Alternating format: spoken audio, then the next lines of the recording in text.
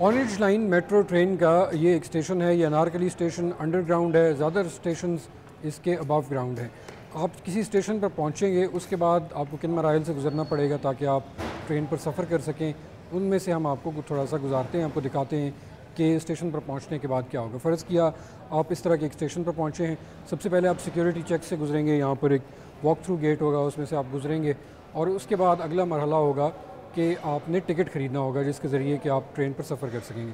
اس کے لیے آپ کے پاس دو چوائسز ہیں، آپ کے پاس دو آپشنس ہیں۔ ایک یہ ہے کہ یہاں سے آپ مینول طریقے سے ٹکٹ خریدیں۔ دوسرا طریقہ جو آپ کے پاس ٹکٹ لینے کا ہے، وہ انتہائی آسان ہے اور وہ یہ مشین ہے جس کو ٹی وی ایم کہتے ہیں۔ آپ اس مشین کے ذریعے ایک ہی دفعہ سفر کرنے کے لیے اگر آپ ٹکٹ خریدنا چاہتے ہیں، وہ بھی لے سکتے ہیں۔ اور اگر آپ کے پاس کارڈ ہے، آپ اسے ریچارج کرنا چاہتے ہیں، تو وہ بھی آپ اس مشین کے ذریعے کر سکتے ہیں۔ آپ کو وہاں پر مینول طریقے میں جانے کی ضرورت نہیں ہے۔ اس کے استعمال کا طریقہ انتہائی آسان ہے، جو اس کے اوپر بھی درج کیا گیا ہے سٹیپ بائی سٹیپ آپ کو اس کے اوپر گائیڈ کیا گیا ہے فرض کیا، اگر آپ ایک ہی ٹکٹ خریدنا چاہتے ہیں تو آپ یہاں پر اسکرین پر آئیں اور آپ چالیس کے اوپر، ایک ٹکٹ کے اوپر چالیس کے اوپر کلک کریں۔ اس کے بعد وہ آپ کو آپشن دے گا کہ آپ کتنے ٹکٹ خریدنا چاہتے ہیں۔ فرض کیا آپ اکیلے سفر کر رہے ہیں اور آپ ایک ہی ٹکٹ خریدنا چاہتے ہیں تو آپ ایک کے اوپر دبائیں گے اور آپ کو وہ یہاں بتا دے گا کہ آپ نے کتنی رقم ادا کرنی ہے۔ آپ نے چالیس روپے ادا کرنے ہیں، وہ آپ یہاں پر اس سلاٹ میں چالیس روپے داخل کریں گے اور جب وہ پیسے وہاں پر چلے جائیں گے تو اس کے بعد اس مشین کے ذریعے وہ جمع ہو کے آپ کے ٹکٹس جو ہیں وہ اس کھانے میں نیچے گر جائیں گے جو آپ وہاں سے کلیکٹ کر سکتے ہیں۔ اگر آپ کے پاس کارڈ ہے جو کہ آپ اس مینول اسٹیشن سے بھی خرید سکتے ہیں اور آپ اس کو ریچارج کرنا چاہتے ہیں، اس کے اندر پیسے ختم ہو گئے ہیں، آپ سفر نہیں کر پا رہے، تو بھی آپ وہ یہاں سے ریچارج کر سکتے ہیں۔ اس کا طریقہ بھی انتہائی آسان ہے۔ اس کے لیے آپ کو کیا کرنا ہوگا کہ آپ اسی مشین کے اوپر آئیں۔ اور اس کے بعد آپ یہاں پر ریچارج کا جو آپشن دیا گیا ہے، اس کو کلک کریں۔ جب آپ ریچارج کا آپشن کلک کریں گے تو اس کے بعد یہ آپ مشین آپ کو کہے گی کہ آپ اپنا کارڈ جو ہے وہ اس سلاٹ کے اندر داخل کریں۔ وہ آپ داخل کر دیں گے، اس کے بعد یہ آپ سے پوچھے گی کہ آپ نے کتنے پیسے اس کے اندر ریچارج کرنے ہیں۔ ان کا انتخاب آپ جب یہاں سے کریں گے اور اپنے پیسے جو ہیں وہ یہاں سے اس سلاٹ کے ذریعے اندر انٹر کر دیں گے، وہ جمع ہو جائیں گے، آپ کا کارڈ جو ہے وہ یہیں سے آپ کو واپس مل جائے گا، وہ ریچارج ہو چکا ہوگا۔ اس کے بعد آپ اس کو کارڈ کو لے کر ان گیٹس کے تھرو ٹرین تک پہنچ سکیں گے۔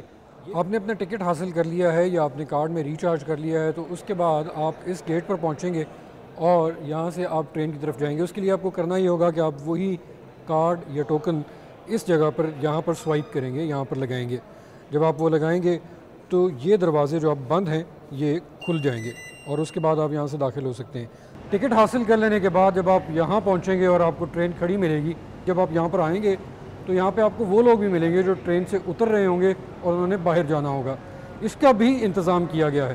یہ بہت ہی کمپلیکیٹڈ سچویشن ہوتی ہے جب لوگ اتر بھی رہے ہوں اور لوگوں نے سوار بھی ہونا ہو اور ٹرین کے پاس کم ٹائم بھی کم ہو، تو یہ سارا کچھ کیسے مینیج ہوگا؟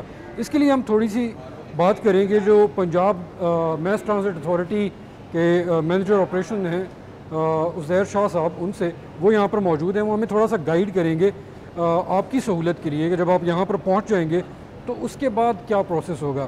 شاہ صاحب، جب ایک مسافر جو ہے وہ یہاں تک آ گیا، اس نے ٹکٹ لے لیا، وہ یہاں پہنچ گیا، تو ظاہر ہے اس کے بعد آگے سے کچھ لوگ باہر آ رہے ہوں گے، کچھ لوگوں نے اندر جانا ہوگا، ٹرین کا ٹائم بھی محدود ہوگا رکنے کا، تو یہ سارا کچھ کیسے مینج ہوگا؟ ہمارے حساب سے چار چار، ہر گیٹ کے سامنے چار چار لوگ، پانچ پانچ لوگ کا کیو ہونا چاہیے۔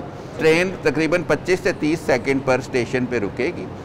دروازے کھلنے کے بعد اندازاً بیس منٹ، بیس سیکنڈ افیکٹو ٹائم ہے ایکسچینج آف یعنی کہ الائٹنگ اینڈ بورڈنگ پہلے الائٹنگ ہوتی ہے، پھر بورڈنگ ہوتی ہے۔ ہم کووڈ کے تحت ایک بندہ، دو بندے، تین بندے، پھر اس کو موڑ لیں گے، چار، پانچ، ایک کیو بنائیں گے پانچ پانچ بندوں کا۔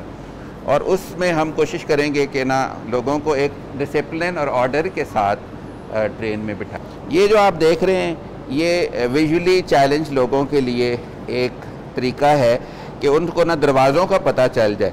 اچھا اب یہاں آپ کو سائننگ نظر نہیں آ رہی ہوگی، لیکن اگلے کچھ دنوں میں سائننگ مکمل کر لی جائے گی۔ یہ ہر شخص کو کلیئر ہوگا کہ یہ ٹرین کدھر جا رہی ہے۔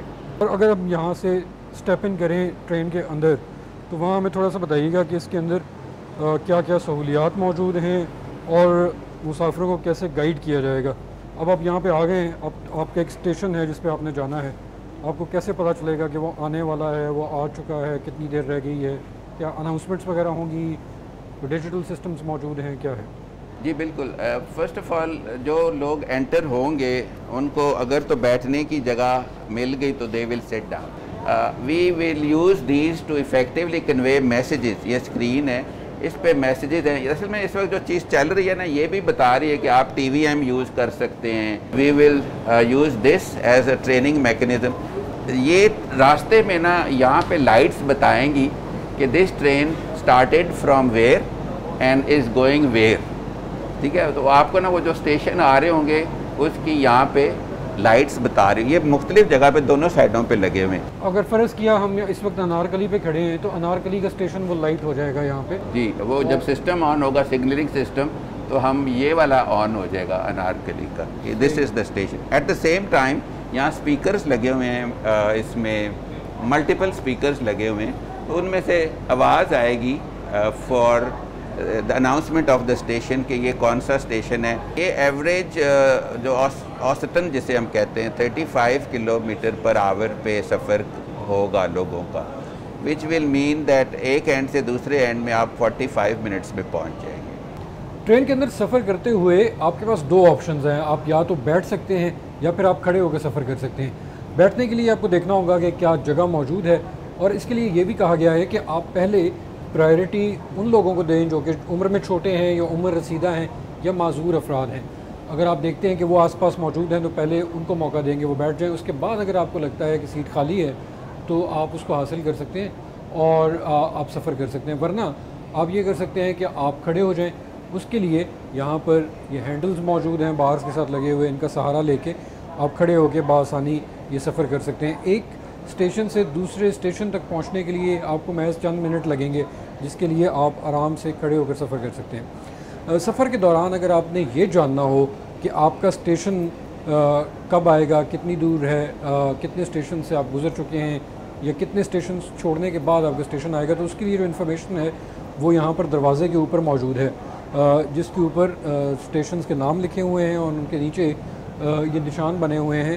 جو نشان جل جائیں گے۔ جب آپ اس اسٹیشن پہ ہیں تو یہ نشان جل رہا ہوگا اور جیسے جیسے ٹرین آگے چلتی جائے گی، یہ نشان جو ہیں وہ جلتے جائیں گے۔ جو نشان جل رہا ہوگا، اس کا مطلب ہے آپ اس اسٹیشن کے اوپر موجود ہیں اور آپ کو پتہ چل جائے گا کہ آپ کا اسٹیشن اس کے کتنے اسٹیشنز کے بعد آیا گیا۔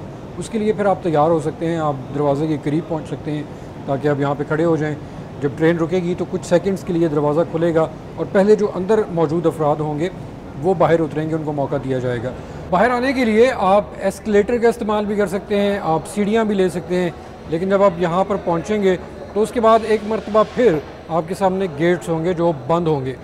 یہاں سے باہر نکلنے کے لیے بھی آپ کو اپنے کارڈ کا استعمال کرنا ہوگا جو آپ کے پاس موجود ہوگا یا وہ ٹوکن جو آپ کے پاس موجود ہوگا، اس کو استعمال کر کے آپ کو گیٹ سے باہر آنا پڑے گا۔ آپ اسی طرح کا گیٹ ہوگا، وہاں پر پہنچیں گے، آپ اپنا کارڈ لگائیں گے گیٹ کھلے گا اور آپ باہر آ سکتے ہیں۔